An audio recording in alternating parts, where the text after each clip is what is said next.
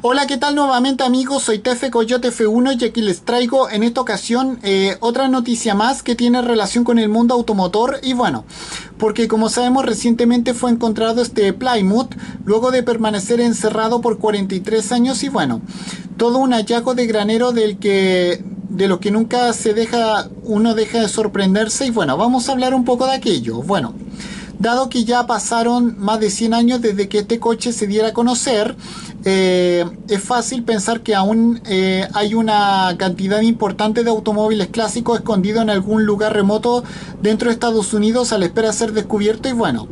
una buena parte de aquellas unidades se están eh, pudriendo en viejos garages o graneros acumulando ingentes cantidades de polvo mientras aguardan por tener por poseer una nueva oportunidad. Y bueno uno de esos coches es el Plymouth eh, PJ que se introdujo durante una era no tan floreciente en Estados Unidos, es decir, durante los años 1930 y bueno, antes de su lanzamiento el, el mercado de valores y las empresas colapsaron y bueno, basta decir que la economía de este país eh, estaba en una situación bastante desfavorable durante, eh, durante aquel, aquel tiempo, de modo que Chrysler pensó en desarrollar un vehículo que fuera asequible para la gran mayoría de los eh, automovilistas estadounidenses y bueno. Fue así como nació el PJ, un coche sedán de precio razonable, el coche sedán de precio razonable más grande del mercado y a su vez un vehículo que requería de, que necesitaba de, bastante menos combustible que la competencia. Bueno, se vendieron más de 350 mil ejemplares y uno de ellos llegó a un determinado garage allá por el año 1983 y bueno, desde aquel entonces este Plymouth PJ año 1935 que protagoniza, que protagoniza esta, esta nota noticiosa que fue descubierta por el canal de YouTube Amo eh, New York City. Eh, estuvo esperando para que alguien lo sacara de su escondite y bueno, nada mejor que darse una buena ducha cuando se lleva tanto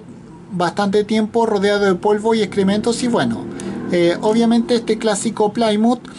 de antes de la guerra de antes de la segunda guerra mundial estaba en malas condiciones. Los propietarios eh, los dueños actuales querían que volviera a funcionar para después venderlo a un digno comprador que disfrutara de su servicio y bueno para hacer eso, eh, Amo New York City se puso a trabajar y le dio al oxidado coche cuatro puertas diferentes cuidados por dentro y por fuera, lo cual no fue una tarea eh, sencilla porque la sección interior, por ejemplo, fue el hogar de otros seres vivos, de ahí, eh, de ahí el repugnante estado de la tapicería. Y bueno, las labores también tenían que ser delicadas porque los proyectos modernos podrían no ser adecuados para aquel habitáculo envejecido y deteriorado y bueno. Una vez terminados los trabajos estéricos, eh, llegó eh, la hora de, hacer que este Plymouth volviera a funcionar y bueno, afortunadamente su bloque de 6 cilindros volvió eh,